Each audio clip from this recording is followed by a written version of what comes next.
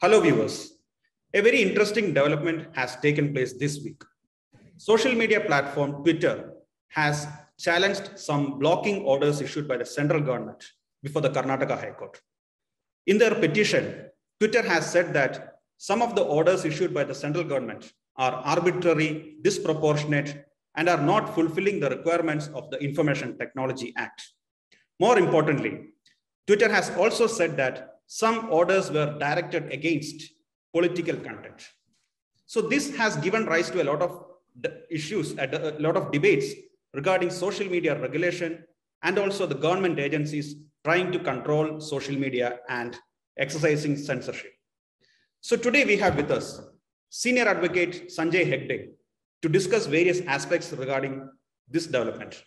Welcome, sir. Thank you, Manu, for having me. Sir, in 2019, Twitter had suspended your account and you were a very vocal presence in social media and a vocal critic of the government agencies. And you had a prominent reach as well with over 1 lakh followers. And you have filed a petition in the Delhi High Court challenging the action of Twitter. And now Twitter has questioned some of the actions of the central government. So how do you see this development? Well, this is ironical, isn't it? Uh, at that particular point of time, my uh, uh, account had been brought by, brought down by what I believe was coordinated action on the part of uh, certain IT cells um, uh, who who probably gamed Twitter's algorithm to ensure that uh, my account got suspended uh, temporarily. Then, uh, when I appealed, and uh, the, the fight basically turned upon my uh, what is called my header photograph. The header photograph was a very famous photograph of uh, everybody uh, doing a Sieg Heil uh, Heil Hitler, mm-hmm. while one fellow stood with his arms across his chest. He was a person called August Landmesser, and that's a separate story. But it, that photograph is a photograph of defiance against Nazism, against collective groupthink. However, Twitter's uh, algorithms or uh, Twitter's internal processes were told, no, this is pro-Nazi speech. This is a pro-Nazi photograph, and therefore the account should come down. I obviously thought that, uh, you know, if an algorithm gets it wrong, that is why a human appeal is provided and a human appeal will get it right. But no, Twitter persisted and has shut down the account. That leads me to believe that uh, it was not only gamed by the by an, an IT cell or uh, any organization like that, but that Twitter uh, operating in India had its own kind of uh, little favors that it uh, traded in with the government of the day, or some people that tried to curb, tried to cut down their reach, some people, the number of followers was brought down. Some people were not verified. You remember that even uh, Rahul Gandhi yes. uh, complained that his Twitter account was being uh, uh sort of uh, shadow banned. Mm. So, well, Twitter uh, India in those days seemed to be playing in footsie with the government, if I may use an Americanism. At, at that point of time, when I went to court, I raised a few fundamental questions because I believe that these are questions which will affect the future of free speech at large, both in India and elsewhere. Because after all, when we exercise free speech, we are, we are talking right now uh, through the net uh, on a platform. Now, if the platform were to say, look, I will suddenly shut you down because I don't like what you're speaking and I can do anything because I'm a private entity. Is that right? Is free speech, which is a public good, a public function, should it be held to the private wishes of private corporations? So if you if you shut, if you lock out somebody from Google, Facebook, uh, Insta, YouTube, Twitter, and the like, significant social media intermediaries, then a person's access to the public square is denied.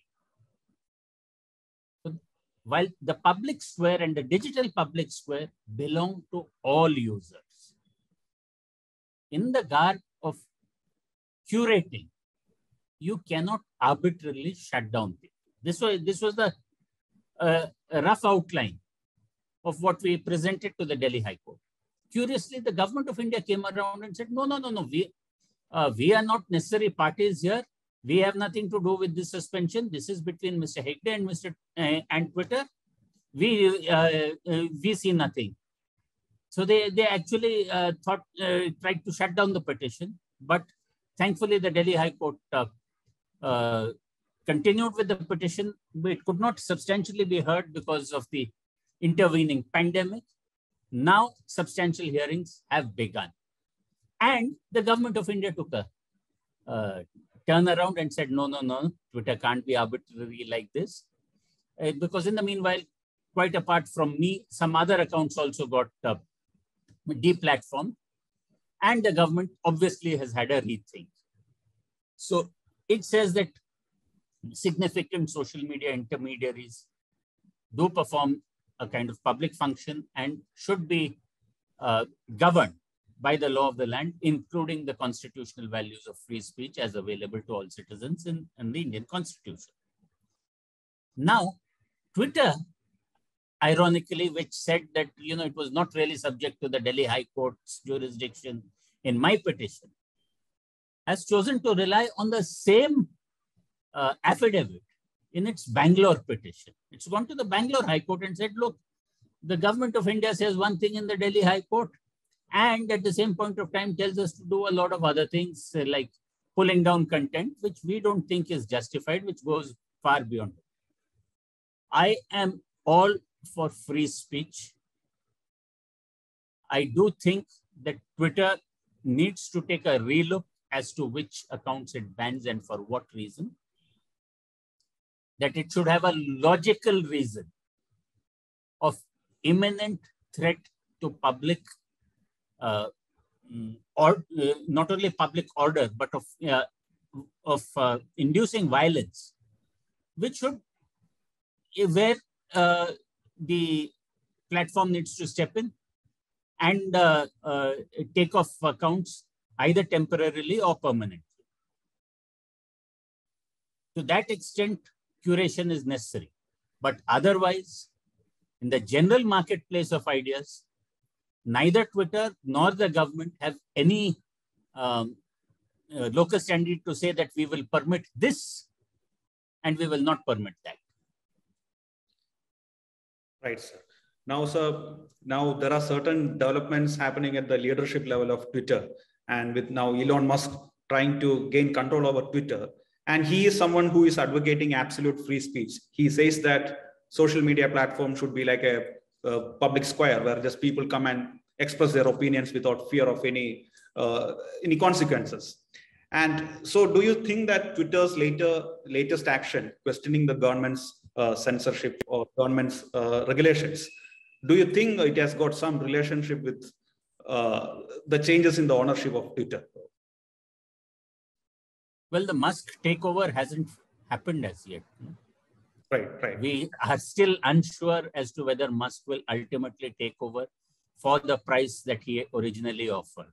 That's true. That's true. That's and true. even Mr. Musk is on record uh, in earlier interviews saying that uh, you know uh, while he is a free speech uh, advocate and all that, but if he is operating in a foreign country, he will go by the laws of that country. So I don't suppose uh, Twitter in Saudi Arabia will be as uh, uh, open and as uh, absolutionist about uh, free speech as Twitter in the US is.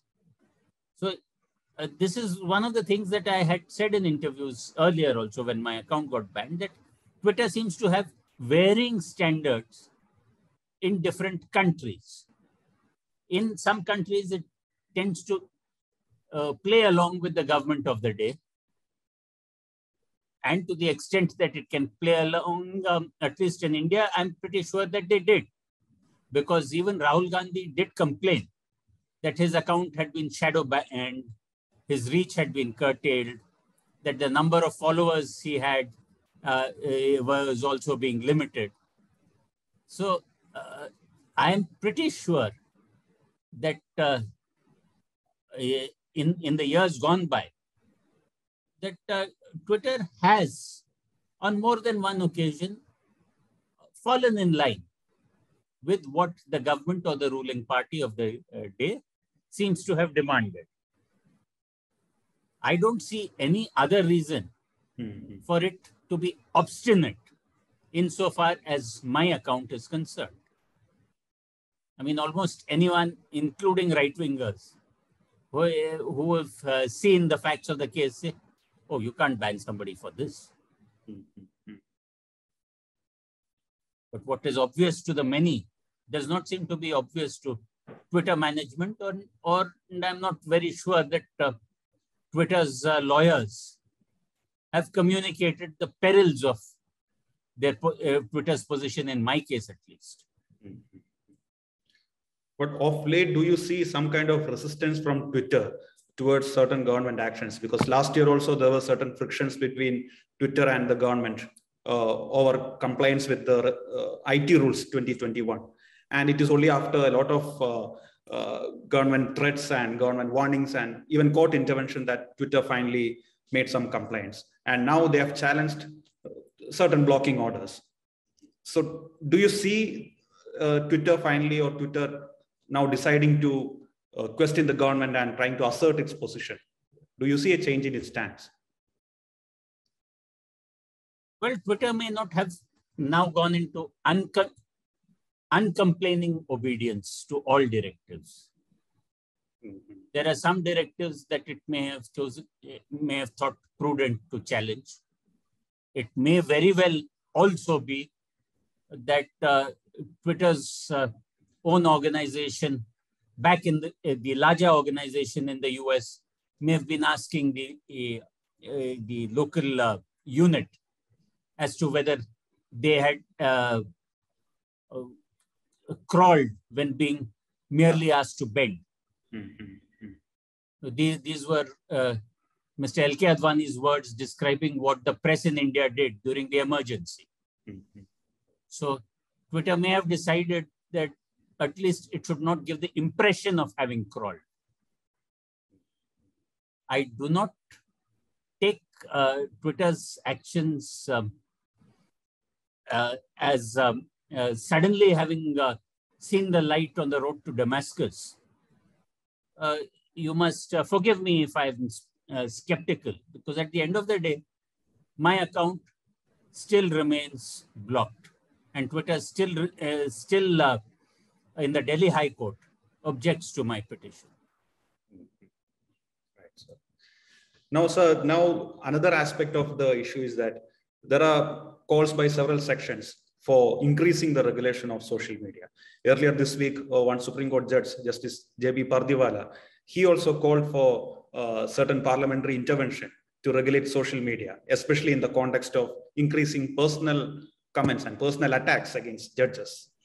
And uh, Twitter is, uh, as you are very well aware, Twitter is a medium where a lot of people are uh, getting a lot of information from court hearings as well. Live tweeting of uh, court hearings has become a very uh, normal thing now. So how do you see the uh, reaction of judiciary? And Justice Pardiwala is not the only judge. Before that, when other judges also have expressed in public platforms their concerns about social media interference in judicial process. So what are your thoughts regarding this? See, one thing I must uh, put on record, and this is a very good opportunity, mm-hmm. is that live tweeting by Live Law and other uh, uh, such organizations have really been a game changer. I remember uh, uh, long ago uh, when the judgment in Suresh Kaushal was due to come in the Supreme Court. And I was sitting in a, in a, in a uh, television studio. And I used to follow a few journalists then. And one journalist tweeting, oh no, was enough to tell me where the judgment was going. Mm-hmm. But from those days of individual tweets and all that, now you have uh, live tweets which perform a very useful function. Sometimes when we are stuck in more than one court and we need to see what the tenor of arguments were, then the entire uh, series of tweets becomes very relevant. So, uh, in a way, you are, uh, whether uh, live law, bar and bench, or any of the others who live tweet proceedings, they are uh, filling a very useful gap of providing transcripts of the proceedings or reasonably reliable transcripts of the proceedings. Now, platforms like yours, uh, organizations like yours have plain vanilla reporting. You live tweet, maybe you are, you may be wrong in a tweet or two because the person, uh, the reporter did not hear the uh, exchange properly. But those, uh, so far nobody has accused you all of malice. Right. But then there are a whole host of ill-informed tweets, tweets which attribute motives, tweets uh, uh, which are uh, there uh, for uh, purposes other than strictly legal, and concerning the legal process as to how they are to be regulated uh, or should they be regulated or should courts say, uh, look, uh, our shoulders are broad enough and uninformed criticism on social media doesn't affect us. That is one view that they could take. Or if there is something particularly egregious, then some mechanism could be developed. But it is very rare that tweets on the justice system lead to violence. What leads to violence is sometimes uh, mm, tweets with embedded videos or uh, photographs and things like that, which uh, uh are taken out of context, which are uh, increase the threat perception and can lead to consequences. Now, Donald Trump tweeting at the height of the insurrection on, on, on June 6th could possibly have been leading the action in some way or the other, or directing the action in some way or the other. At that point of time, an account like that being brought down, uh, entirely understandable. Being permanently suspended, that there can be two views on that. Or or supposing you have a, a live terrorist situation that they are holed up somewhere. And somebody who's sitting in the next house can look at the action and supposing they start live tweeting it. That would bring other uh, lives into jeopardy including the law enforcement. So curtailing that account at that point of time? Yes certainly but to perpetually take down an account and perpetually take down an account for no reason whatsoever. That certainly is not on. Also, should you uh, yield, uh, should you yield to the tyranny of Twitter or uh, any other social media platform and say, okay, whatever you do is right. You, you own the platform, you curate it the way you want, you moderate it the way you want, as long as no violence ensues or something of that kind is one way of saying it. But uh, on the other hand, if you say, no, no, no, there, there should be a government order, then the government can, can pass any order. Some government official sitting in some uh, Vigyan Bhavan or some other Bhavan or the other might say, no, no, no, no, no, uh, this thing about, about the harvest uh, figures uh, can uh, lead to our farmers getting depressed government orders can be absolutely bureaucratic, absolutely uh, uh, looking through uh, at the situation through a pigeonhole which doesn't exist. So to give that power entirely in the government's hands is also not a good idea. I should think that when there are emergent situations, as long as that situation continues, temporarily uh, restraining an account or blocking an account might, and in some areas alone, might make sense. But to uh, permanently knock people off, no.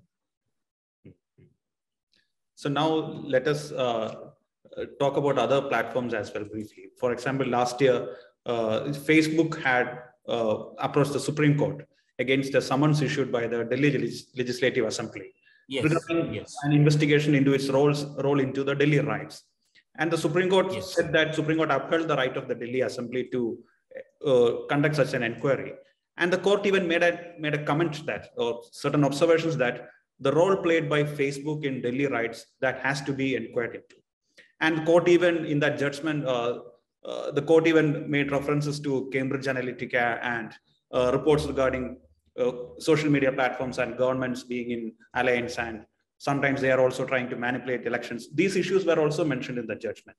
So how do you uh, see that uh, development as well? Like, so the role of social media in even controlling elections and even triggering riots that so there should be some control in that sense right see the era of unregulated social media i think is coming to an end or the era where social media controls itself is coming to an end either through legislation and there has been a lot of legislation in the us at individual states in in the interests of various uh, uh, agencies, including pornography and whatnot.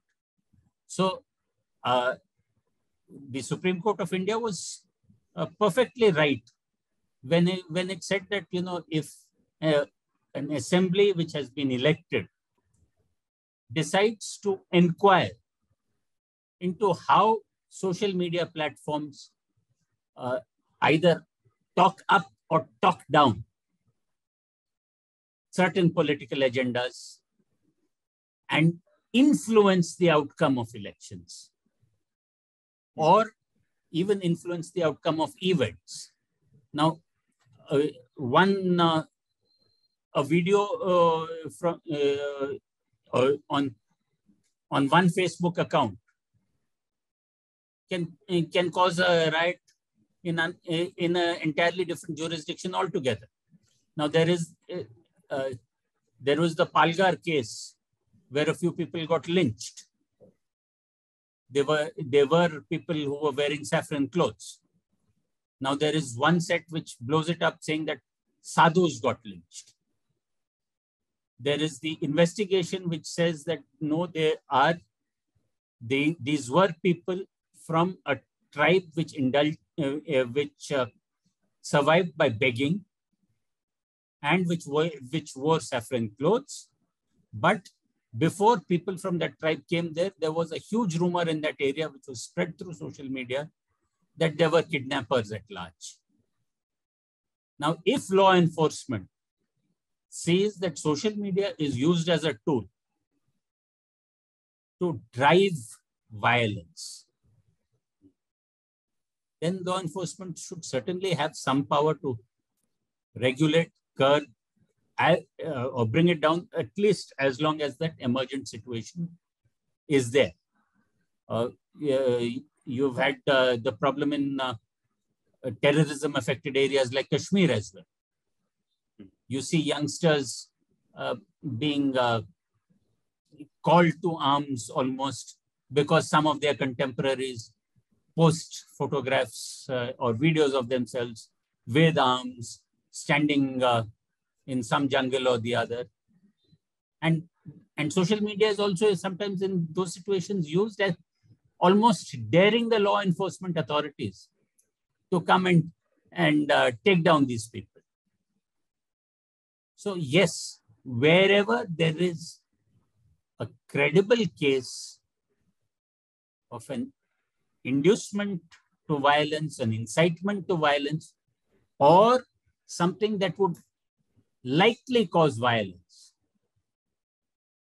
I come back to that original formula that a temporary ban hmm. or a temporary takedown of that content and that content alone, I would support. So the invasion the curating or the takedown should be specific, case specific, time specific, and should not be broad spectrum.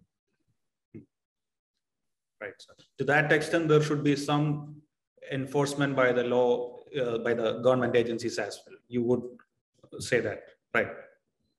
Obviously, I, as uh, Justice uh, Holmes said in that famous statement, freedom of speech is not freedom to shout fire in a crowded theater.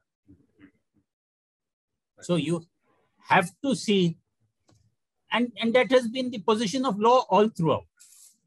If there is something that causes imminent violence, or is an incitement to imminent violence, or is adds to it in any manner, then of course that that speech does not have protection.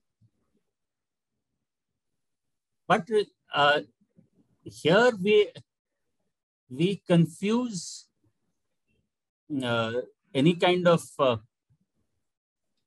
curation for the purpose of an immediate danger to violence with some arbitrary content which somebody may or may not take offense to and which may have been posted, forgotten, and then four years later made a big deal of.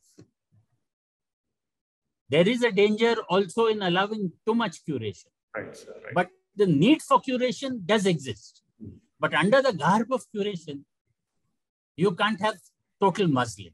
Right. So there should be certain regulation of social media to prevent violence and also to prevent hate speech, especially in a diverse society like India.